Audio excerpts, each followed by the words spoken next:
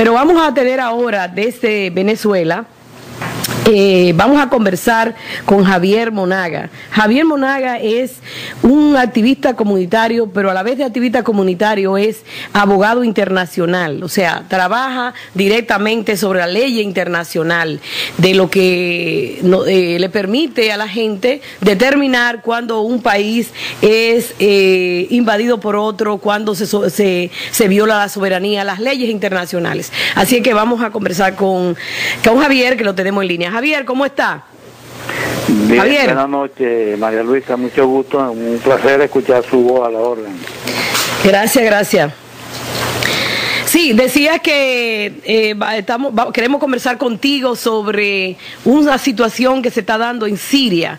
Eh, nosotros nos sorprende en cierta manera que Siria amanezca llena de bombas por todos sus rincones y no vimos ningún tipo de acuerdo en las Naciones Unidas ni nada para que esto se diera, sino que esto prácticamente se ha dado este, fuera de control. Ahorita teníamos una noticia que decía todo lo que está pasando en Siria. Quiero que tú nos expliques eh, conciso sobre qué es realmente lo que está pasando allí.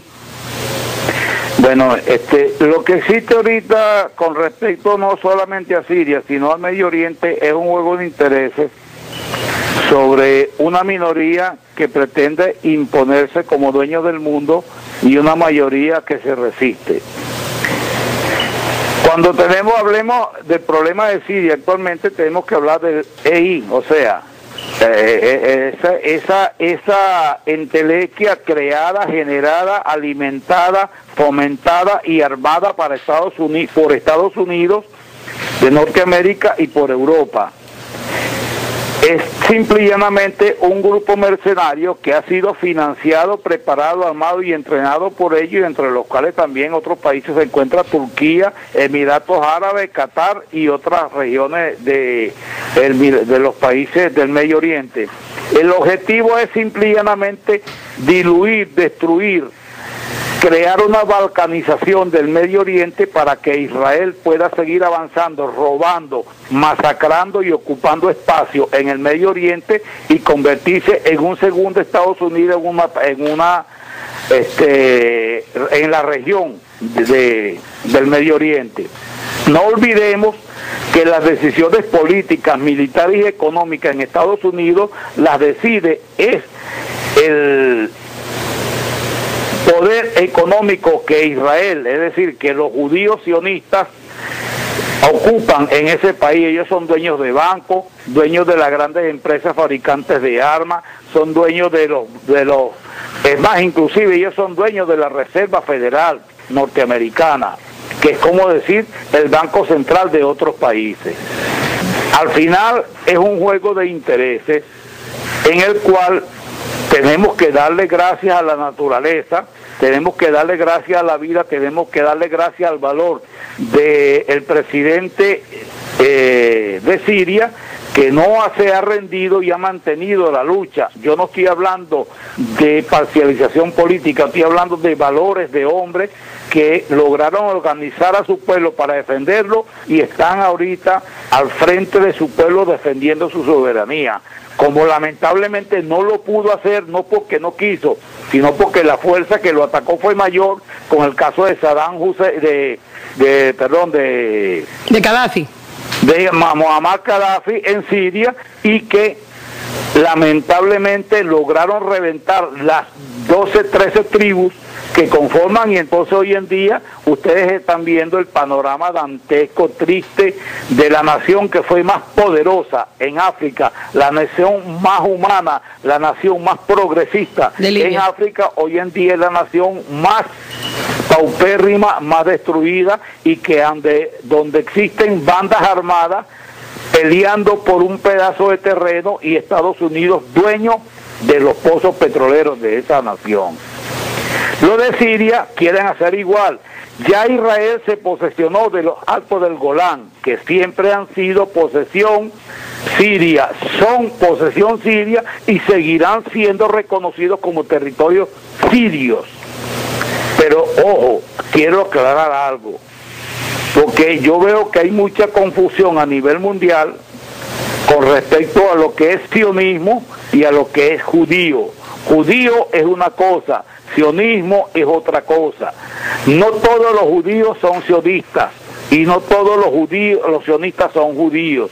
A veces yo veo muchos compañeros que atacan este, y dicen cosas contra los judíos generalizando, olvidándose de que hay gente dentro de el propia, la propia religión judía, que tienen un partido comunista, que tienen un partido socialista y que son gente desde Israel que salieron a pelear, a, fueron reprimidos luchando contra esa invasión, contra ese crimen, contra ese genocidio, contra ese infanticidio global que cometió el sionismo israelí contra el pueblo palestino. Volviendo al tema, quiero decir simplemente que Siria es el zapato en la piedra del expansionismo sion judío dentro del Medio Oriente. ¿Por qué? Acuérdense que ahí existe la base de Tartus. Tartus es la base donde Rusia tiene su flota para la región del Medio Oriente.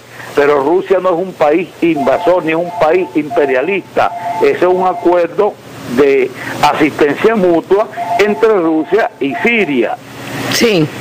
Pasa lo siguiente, para terminar, para darle chance que ustedes me hagan la pregunta, este, que como el occidente cuando digo Occidente, yo enmarco dentro de todo eso a Estados Unidos y a los gobiernos europeos.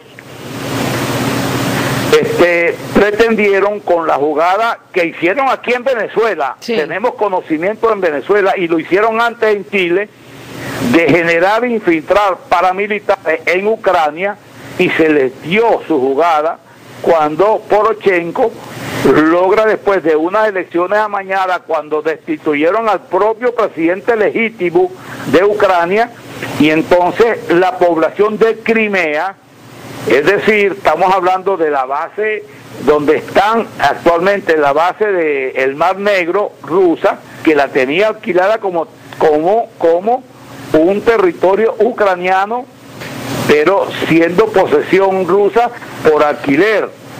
Más la historia, porque tenemos siempre que tener pues visión, tenemos que tener también revisión de la historia para tener conciencia y conocimiento de las cosas tal como son. Crimea siempre ha sido territorio ruso desde toda la historia del mundo. Y entonces cuando hubo la disolución de la Unión Soviética, cuando el presidente Mijail Gorbachev desgraciadamente traicionó a la Unión de Repúblicas Socialistas, entonces hizo un acuerdo con el gobierno, recordemos que Gorbachov era de Georgia, georgiano. Sí. Sí. Y entonces hay eh, este, trató de, en la disolución de la Unión Soviética de debilitar a Rusia, teniendo conciencia y conocimiento de que Crimea es y fue y ha sido desde los tiempos imperiales territorio ruso. Sí, entonces, a los Estados Unidos, a Europa, no les gustó la jugada que hizo, no la jugada, sino la decisión que tomó Rusia de que de asumir la decisión que hizo el propio pueblo de Crimea de votar, de elegir libre y democráticamente en un proceso democrático por decidir la anexión de Crimea a Rusia por volver a su cauce, por volver a ser parte del territorio que siempre han sido. De ahí en adelante ha venido toda esa expansión guerrerista en donde ya los Estados Unidos, como no pudieron no pudieron, no tuvieron como, pese a todo el financiamiento, al EIL, al NURRA, a todos esos grupos terroristas que están ahorita actuando en Siria, pero que el ejército sirio, el gobierno sirio, ha logrado vencer, entonces ahora ellos quieren asumir sobre pretexto, sobre pretexto del avance del EI en Irak, entonces justificar una acción militar directamente dentro de Siria.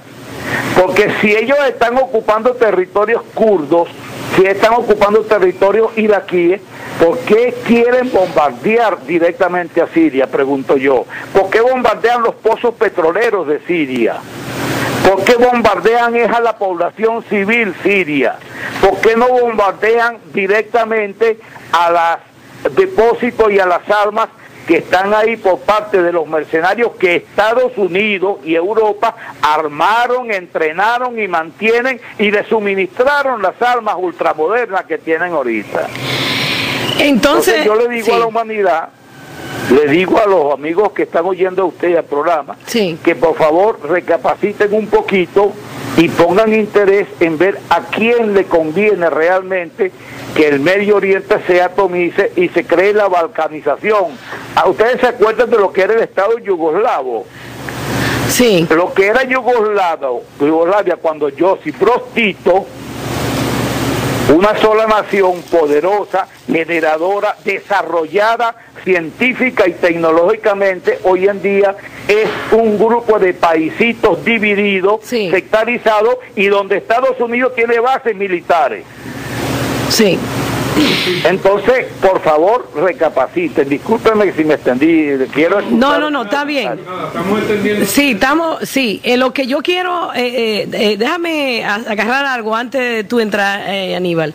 Es que, entonces, sacando como conclusión aquella vez que en el 911, ese 911 que ha cambiado la vida norteamericana y que justamente pasó en este mes, y que creó una, una propaganda tan fuerte y, arrastró tanta gente a favor de Estados Unidos para que hiciera la intervención eh, en Irak. Entonces el hecho de todos estos eh, videos que están saliendo de asesinato a sangre fría de reporteros norteamericanos, europeos y demás, eh, sería una especie de continuación de esa misma política, ya que Estados Unidos y los aliados tienen tanto poder a nivel eh, comunicacional, a nivel de los grandes medios de comunicación, para poner la gente como están ahora en el pueblo, que la gente dice, bueno, tenemos miedo de que el Levante llegue a, Santo Domingo, a, oh, ya me fui a Santo Domingo, que llegue a, a Estados Unidos y comience a matar gente, entonces hay que hacer algo. Y también Europa veía a la gente en la calle diciendo lo mismo. O sea, ese cambio que le han creado en la mentalidad de la gente que no quiere guerra y que estamos, por cierto, en la Semana de la Paz, eh, todo eso tiene que ver con ese mismo engranaje para lograr ahora que la gente se sienta que Estados Unidos es el héroe y los aliados, porque está, ido, está yendo a matar gente para, para Siria sin ningún tipo de, autorización por nadie. Bueno, fíjense lo siguiente, desde el Golfo de Tonkin, desde el caso del barco Maine, voy a refrescar, el barco Maine fue cuando Estados Unidos se autoatacó en un puerto de La Habana para justificar la guerra contra España, una guerra que le dio la posesión a ellos de Filipinas y de Puerto Rico, no la posesión, el colonialismo, la división. Y lo que pasó en Tonkin, que fue la justificación que Estados Unidos, cuando se, también se autoatentó, que fue una farsa comprobada hoy por la historia, justificó la intervención en la guerra contra Vietnam después que se derrotó el imperio inglés y el imperio francés. Nosotros estamos hablando de un imperio que se basa en la mentira, en el engaño, en la traición y en toda una serie de elementos que lo generan a partir del dominio de la capacidad mediática que tienen de proyección en el mundo. Recordemos que Estados Unidos utiliza el cine, la televisión, los programas todo, inclusive hasta, hasta los medios de difusión de propagandas comerciales, utiliza la mentira como medio de galopar para ellos proyectarse como lo bueno y poner al mundo como los malos. Estados Unidos tuvo a los rusos como enemigos. Después que, los, que desapareció la Unión Soviética y los rusos, ellos buscaron a los árabes, después buscaron a, los, a los negros, después ahorita somos los, los afrodescendientes, o ahorita somos los hispanos sus enemigos. Ahora es el EIL, el terror terrorismo de los musulmanes. Esta es una guerra simple y llanamente buscada para proyectar un poder económico que está viendo que el mundo está cambiando de conciencia, que ya la gente no cree en sus mentiras y que ellos justifican otras motivaciones para ir a la guerra contra cualquier país del mundo simple y llanamente para imponer el poder de los grandes monopolios económicos internacionales que son al final quienes tienen el poder en Estados Unidos, en Europa y en cualquier parte del mundo. Por eso se habla del grupo Bilderberg, por eso se habla de una mafia muy pequeña de grandes poderosos que son los que cometen los genocidios, que son los que controlan el Tribunal Penal Internacional, que son los que controlan la Corte Internacional de Justicia, que son los que controlan a la Organización Nacional de Naciones Unidas, que son los que controlan a la Organización de Estados Americanos y que son los que tienen al final el poder decisorio sobre cualquier cosa en el mundo. Estados Unidos ha invadido países sin justificación y ha masacrado presos, ha masacrado, gente, ha masacrado gente. Veamos a Guantánamo, donde la tortura fue justificada. ¿Por qué, ¿Por qué Estados Unidos no ha sido condenada por ninguna organización internacional? Las cárceles internacionales que tiene la CIA, inclusive, que ha utilizado aviones para hacer vuelos, para tener gente dentro de los aviones, torturarlos y masacrarlos, ¿por qué no ha habido ninguna sanción contra Estados Unidos cuando han sido comprobados, cuando han salido fotos, cuando han salido sus propios soldados violando gente, mujeres, hombres, niños? Y esas fotos están en el Facebook, están en el Twitter, están en cualquier medio de comunicación internacional en los cuales... ¿Y por qué ahí no ha habido sanción? ¿Y por qué contra Gaddafi con una mentira montada, manejada y difundida por los medios norteamericanos y europeos cómplices se invadió a, Libia, se masacró a ese pueblo, se asesinó a su presidente y nadie dijo nada? ¿Por qué nadie voltea la mirada ahorita hacia, hacia Libia y dice y habla del crimen, del genocidio, del infanticidio, del femicidio que está sucediendo allí. Sí. Eh, Leonardo te tiene una pregunta. Sí, eh, Javier. Bueno, venía, no sé si he hablado de eso, porque venía, venía en el carro, venía oyendo la entrevista cuando él empezó. no voy a negar que se me pegó la sábana un poco. Pero eh, quiero que me haga una relación así rápidamente de cómo se ha eh, dimensionado este grupo ISIS y otros grupos que están surgiendo últimamente. Los ISIS son 10, 15, 20, 100, 100 mil, 50 mil, no sé cuánto. Pero el asunto es que tuvieron que juntarse 40 países, entre ellos los más potentes del mundo en términos militar y económico también, y el más potente de todo, Estados Unidos, para combatir este grupito que ponía en jaque al mundo, al mundo entero, entonces tenía que salir un grupo salvador. Eso se engloba dentro de lo que tú dices, preparar eh, eh, una, una, expectativa y, la conciencia de la gente para aceptar, incluso para pedir eh, la intervención de estos grupos, de, la intervención de estos países, sobre todo de Estados Unidos? Bueno, yo primero que nada quiero remitirlo a ustedes a una farsa, a una farsa mundial que se manejó, que era el H1N1 ¿Recuerdan esa farsa? Sí, sí, Una epidemia mundial H1N1 que iba a acabar con el mundo y la medicina salía de dónde? De la empresa Halliburton, dueña de quién? De Dick Cheney. ¿Quién era Dick Cheney? Vicepresidente de Estados Unidos. Señores, todo es una trampa mediática montada para engañar. Eso que está pasando ahorita con el ébola, esos son virus creados, generados. Yo he escrito eso mucho sobre eso. Los laboratorios de las empresas farmacéuticas norteamericanas que son judías, sionistas, no judías, judías, judías sionistas, son las que crean las enfermedades, riegan bien, ahora con los con los drones es peor porque ellos pueden volar a altura y de, de atmosférica y no pueden ser detectados, desde ahí generan sus cepas y entonces vienen las enfermedades. Nosotros no podemos caer nosotros estamos luchando con, contra un enemigo que es muy pequeño pero que tiene mucho poder poder de engaño. Y en la medida que nosotros tomamos conciencia de que todo lo que suceda en el mundo hoy por hoy es culpa de un grupo minoritario que pretende hacer dinero a costa de la salud, la vida, la vivienda, todo, hasta el agua está siendo atacada ahorita.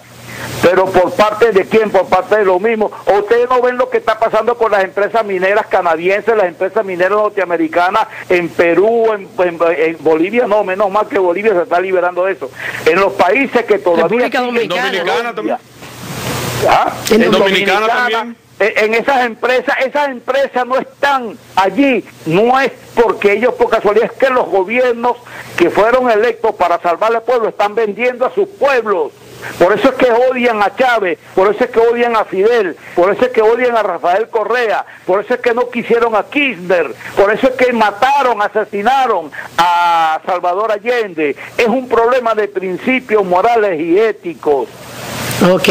Bueno, la última pregunta que te vamos a hacer, porque es una preocupación que tenemos, porque ahora ya se vio y se ha visto de una diferente forma cómo esta gente maneja la situación, y Venezuela ha estado en la lupa y sigue en la lupa. Bueno, vimos la declaración que hizo el secretario de la, de la OEA, que se va, pero dejó su semillita ahí puesta, y, y todo lo demás. Ellos recientemente han estado hablando de que en Venezuela hay una célula del grupo Levante. ¿Eso no sería una forma de que mañana amanezca Venezuela bombardeada por los Estados Unidos porque está la célula ahí y ellos van a matar a, esa gente que están para allá? Ustedes recuerden que aquí se habló de que Irán había instalado instalaciones atómicas en Venezuela, que Chávez, gracias a ellos, porque la inteligencia de Chávez logró reventar y volar eso cuando decía, bueno, hay bicicletas atómicas, hay una serie de cosas. Ese es el mismo juego pero no hay que desestimar la intención. Ellos están jugando con la mente de un pueblo, con la mente de, de, una opinión mundial para engañarla, para confundirla, para a partir de ahí conseguir la justificación para atacar. Por eso que en Venezuela nos estamos preparando, porque a la hora de cualquier acción de cualquier país del mundo que pretenda aquí no va a pelear contra un ejército ni va a pelear contra un gobierno, va a pelear contra un pueblo. Recordemos el ejército de los pueblos combatiendo, recordemos el ejército de Vietnam, recordemos el ejército cubano, glorioso y magnífico cubano. Entonces, lo que está simple y llanamente es una es parte de la, de la misma estrategia global de dominación, de sometimiento y de utilización. Venezuela hoy por hoy es la primera potencia, es el país con las mayores reservas petroleras del mundo. Los Estados Unidos Norteamérica, Europa y otros países pretendieron que en el 2010 la energía petrolera ya dejaría de ser usada porque ellos contaban con que iban a desarrollar una, una fuente de energía alterna. Resulta que no le salió la cosa como es, o si existe, el propio comercio se los ha impedido que lo saquen al aire, entonces ellos tienen que seguir siendo esclavos de la energía fósil petrolera y Venezuela es la mayor fuente. Ellos están ahorita acosando a Rusia, acosando a China, acosando a Irán. Vean ustedes los movimientos militares, vean las masas militares que existen en el Medio Oriente, en el Mar Negro, en el Mar Caspio, en el Canal de Suez. Vean todos los conflictos que están pasando ahí. Todo apunta con que esa minoría, porque no es el pueblo, esa minoría que controla el poder en Estados Unidos están tratando de rodear a esos países porque ellos están dispuestos a llegar a la guerra, ellos creen que sus refugios atómicos, que sus refugios que tienen preparados para salvarse 40, 50 mil familias de delincuentes, mafiosos, ricos, enfermos mentales que ven en el dinero la salvación de su propia vida cuando desprecian la cualidad y calidad humana. Entonces esos sinvergüenzas están pretendiendo ahorita hacer una guerra contra Rusia y contra China y contra Irán. Ellos saben que una guerra contra Rusia significaría el fin de la vida como la conocemos en el planeta. Rusia solo tiene la capacidad para acabar con este planeta, no una, sino diez veces. Estados Unidos tiene capacidad para acabar con la vida en este planeta 20 veces. Irán no tiene armas atómicas, pero tiene suficiente poder militar como para neutralizar y eliminar cualquiera de las fuerzas militares que pueda tener Estados Unidos en el Golfo Pérsico. Hablemos de China. China hoy por hoy es la primera potencia económica mundial. Estados Unidos es el primer deudor económico de, de China le debe. Entonces, ¿cómo vamos nosotros a pensar que los Estados Unidos pretendan a venir a imponernos condiciones de vida y, mantener un ritmo de vida en el derroche cuando las riquezas del planeta se están agotando, cuando la naturaleza está agotada, cuando las aguas están siendo maltratadas, vejadas y ofendidas, inclusive donde el aire mismo está siendo atacado malintencionadamente porque algunos bandidos creen que ellos pueden procesar el aire y vendértelo después. El problema de nosotros, para terminar, es un problema moral de conciencia y de salud mental. El poder dominante en Estados Unidos, que es el, mismo poder que domina en Israel, que es el mismo poder que domina en Europa, no estoy hablando del pueblo, estoy hablando de los poderes. Sí.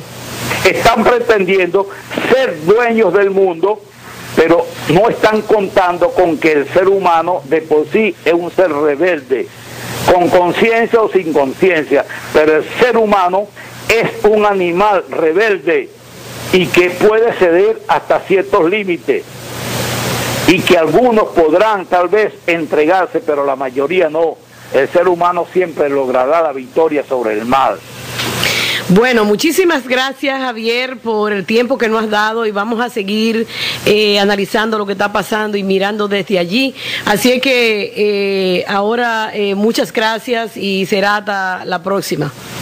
Bueno, yo le doy las gracias a ustedes, saludo a todos los compañeros, este, les agradezco estos pocos minutos que me dieron. Yo les digo, por favor, recapaciten, piensen. Nosotros en América Latina no somos enemigos del pueblo norteamericano, somos enemigos del poder dominante en Estados Unidos, el mismo que esclaviza a Puerto Rico, que esclaviza a muchas naciones, pero que son una minoría de vagabundos, sinvergüenza, ladrones, chulos, explotadores, mediocres, enfermos mentales, pero que no respetan la condición humana como tal. Buenas noches y disculpen la molestia. Gracias. el presidente Maduro habló eh, de eso bastante aquí. Eh, bueno, ahora nos vamos a ir a un corte.